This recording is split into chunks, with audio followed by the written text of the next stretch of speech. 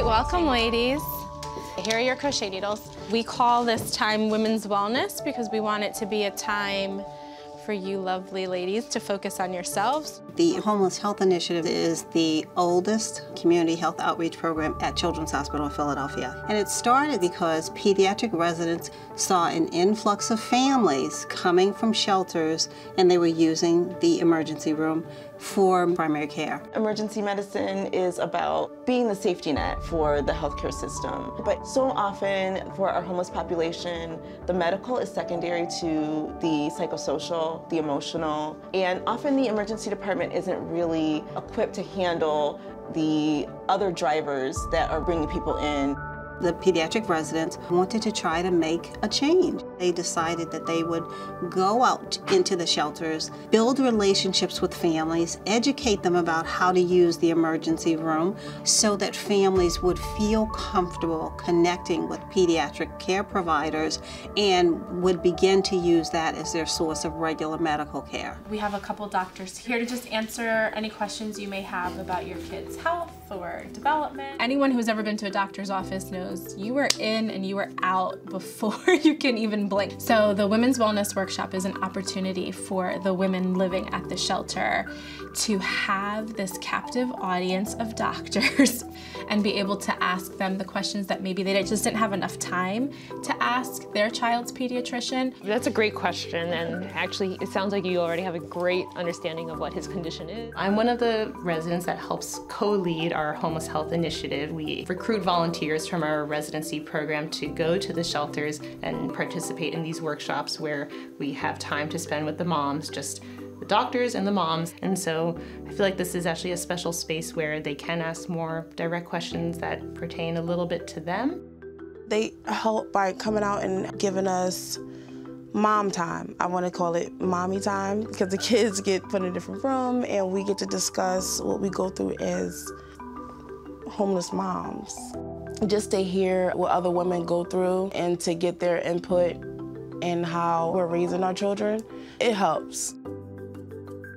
They have kids they're taking care of around the clock, by themselves usually. And so this gives them 90 minutes of time to focus on themselves, to recharge their batteries and be able to go back out and deal with whatever they have to deal with in the world.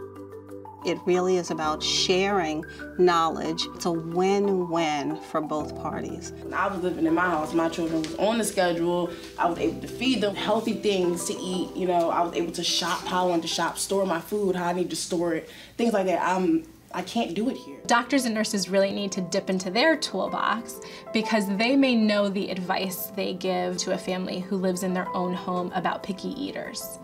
But when you're talking to a family who lives in a shelter where they can't cook their own meals, then you're gonna give them different advice about how to deal with a picky eater. When people think of someone homeless, they think that whatever they did to get there, they deserve to be there. I don't deserve to be here. I work hard. I, you know, I want the best for me and my children. And, and I'm not used to living like this. I'm used to having my own house. You know, my kids have their own space and and it's not easy. It's just really not. We recognize a lot of families have experienced trauma before coming into shelter. So we run our programming in a trauma-informed way. Trauma-informed care is an approach to how we treat families, not blaming our patients and our families for the situations that they're in. It's trying to understand how they got there by asking open-ended, culturally sensitive questions. So an example of an open question could be, where are you living now? Or I'm really here to help and I'd love to learn more. Would you be willing to tell me about what you're going through? So using the type of open language would really give someone hopefully a safer space to feel that they can share that information and give them autonomy to decide whether they want to. When the doctors come out, they really take their time. And if the doctors sense that you're feeling uneasy, they sit down and talk to you for a little while, you know, to make sure you're okay. And I think that is compassionate care. Healthcare providers are out there. They're taking care of this population, whether they know it or not. And it's better for them to know it so that they can prescribe care for the whole family.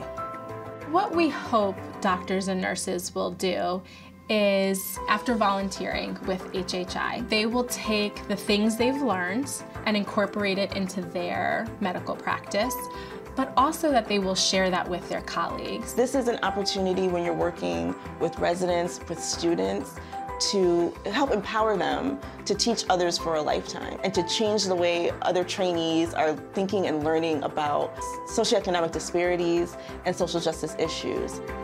The work that I do with families who are experiencing homelessness gives me this desire to continue to learn more and do more for the community and really the resilience that they have is something that I get a lot of inspiration from. I can't fix the housing situation in the city of Philadelphia, but what I can do is be there and be their cheerleader every day and remind them you're doing incredible things and your children are going to be okay. And that's what I will continue to do for as long as I can.